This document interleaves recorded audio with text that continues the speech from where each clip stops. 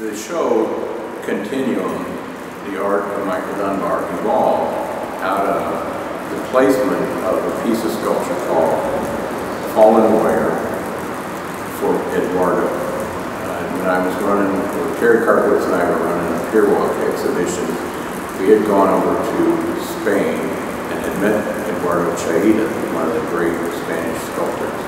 And we invited him to bring one of his pieces back to Chicago to Navy Pier.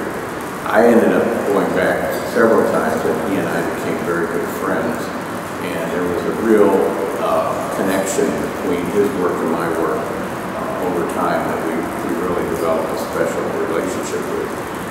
Uh, after the last time that I was there to see Eduardo, uh, or when I was there in Spain to see him, I noticed that he was staying in language. He